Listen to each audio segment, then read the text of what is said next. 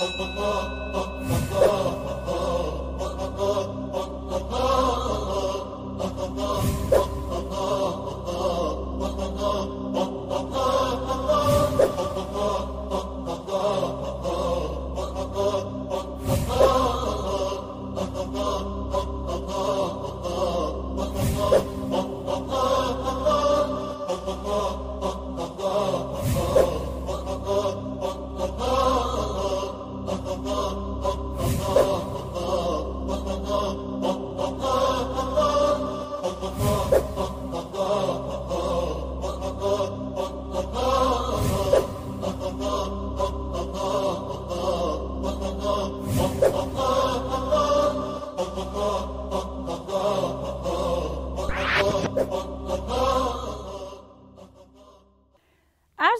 خدمت شما شاگردان مکتب هادی. امیدوار هستم که جور باشین و صحتمند. نمبر ارتباطی برنامه 20964 780 255 40 13 است. از این طریق می‌تونید با ما ارتباط بگیرید. امروز درس هشتم از فصل سوم کیمیای صنف نهم رو در خدمت شما عزیزان می باشیم. موضوع فصل در رابطه با انواع کربوهیدرات هاست. شما با کربوهیدرات ها در جلسات پیش آشنا شدید. یاد گرفتید که کربوهیدرات ها و مرکبات گفته می شد که در ساختار آنها عنصرهای کربن، هیدروژن و اکسیژن به طور حد موجود بود. همچنان یک منبع انرژی بسیار زیادی بود برای بدن ما شما و طی عملیه فتوسنتز کربوهیدرات ها تولید یا استحصال می شد.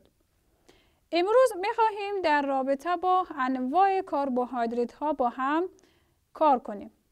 اهداف درسی که ما و شما امروز می خواهیم با هم یک جای کار کنیم در رابطه با قندهای یک قیمت است و قندهای دو قیمته امروز ما شما کار خواهیم نمود که قند یک قیمته چه قسمی است و قند دو قیمته دارای چه ساختارهایی است و در چه مرکباتی یافت می شود با شروع درس امروز با ما همراه شوید.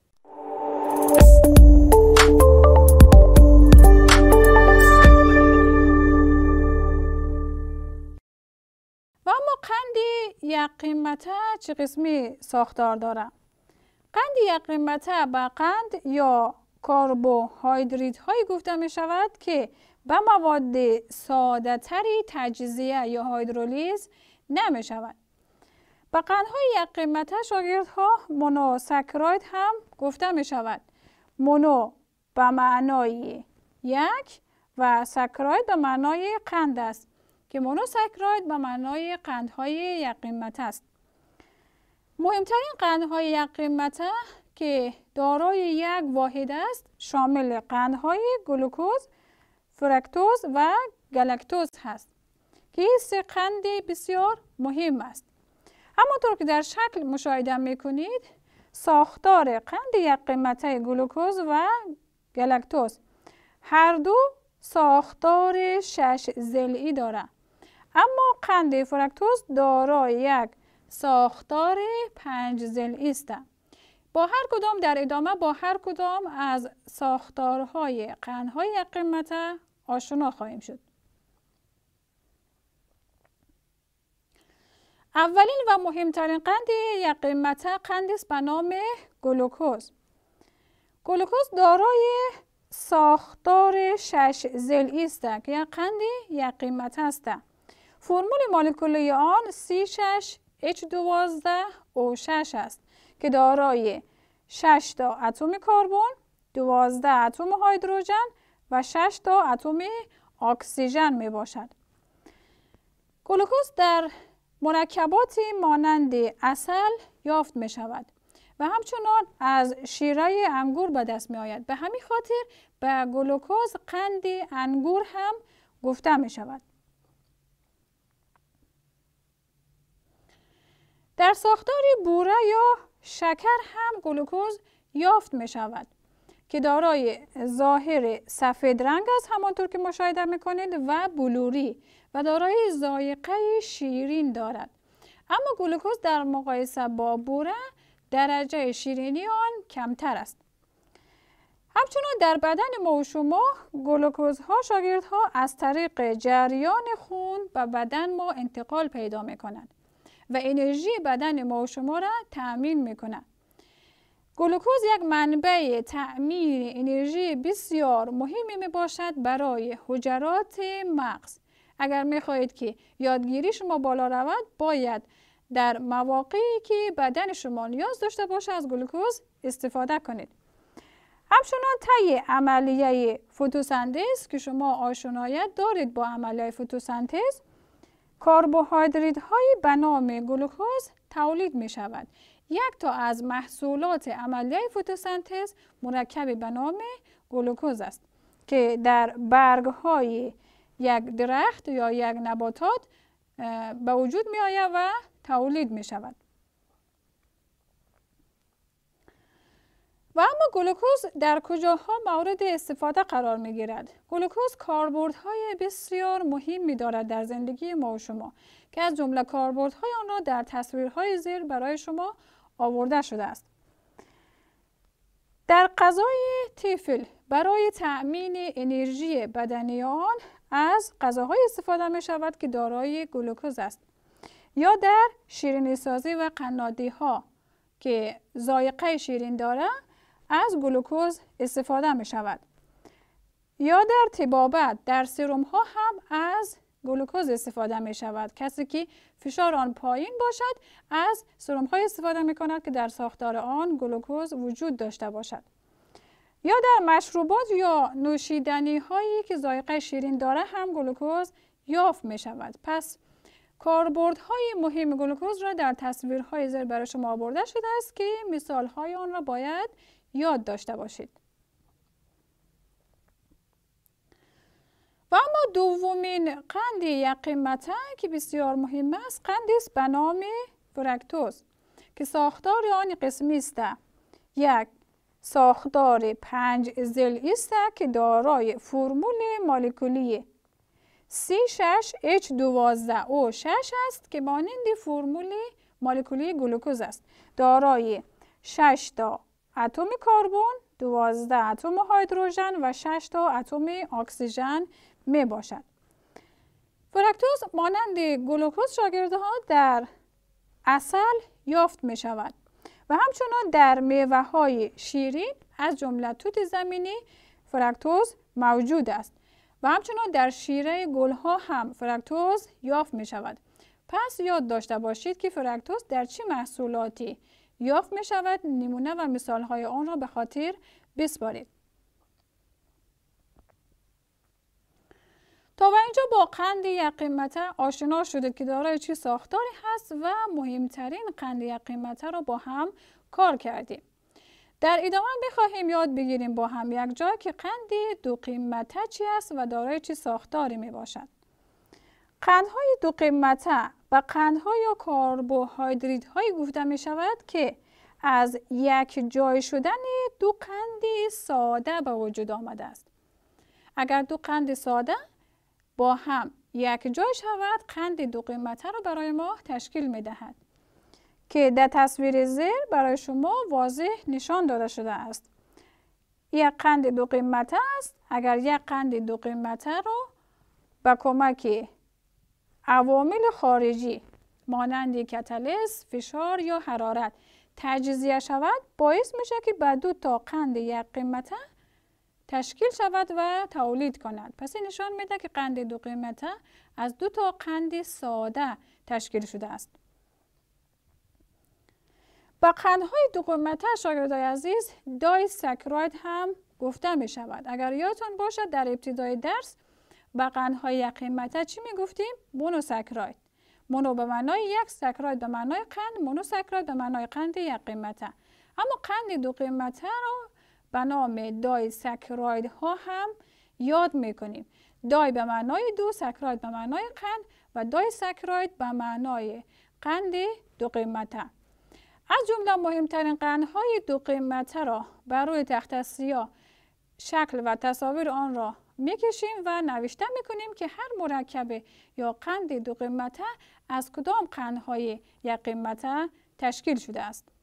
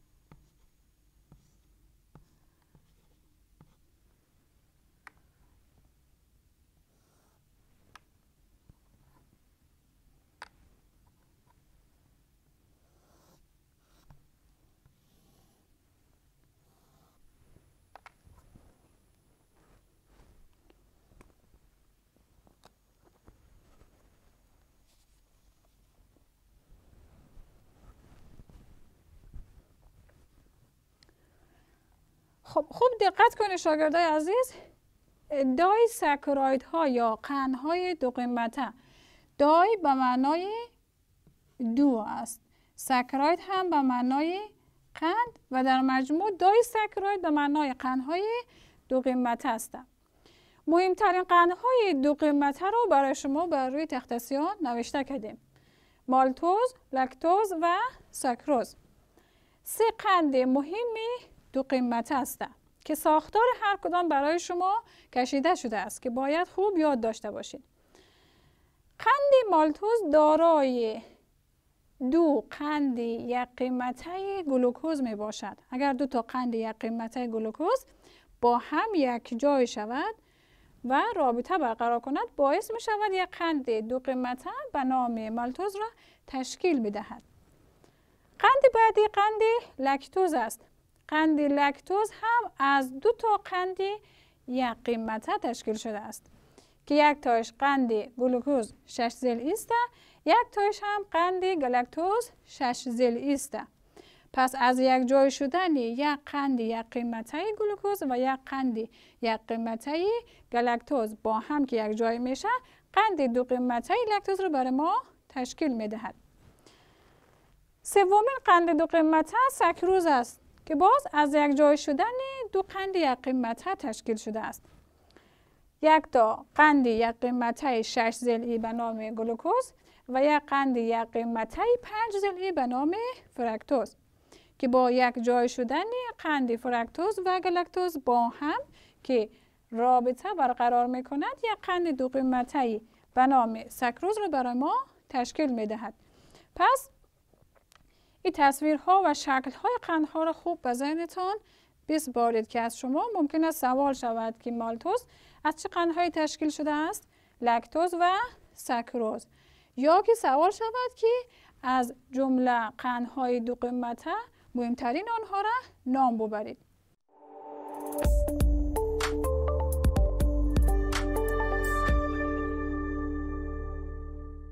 خب شاگردای عزیز درس امروز ما تمام شد. امیدوارم که درس امروز خوب یاد گرفته باشید. امروز ما و شما در رابطه با قندهای قیمته و قندهای دو قیمته یاد گرفتیم و فهمیدیم و متوجه شدیم که قند یک قیمته چه قسمی است و از چه محصولاتی به دست می آید و قند دو قیمته دارای چه ساختارهایی است و مهمترین قندهای دو قیمته چی نام دارد. در جلسه آینده انشاءالله در رابطه با قندهای دو قیمته که از چه محصولاتی به دست می آید با هم کار خواهیم نمود و همچنان در رابطه با قندهای چند قیمته با هم کار می‌کنیم. امیدوارم درس امروز خوب یاد گرفته باشین. شما را به خداوند بزرگ می سپارم. خدایا رو نگهدارتان باشد.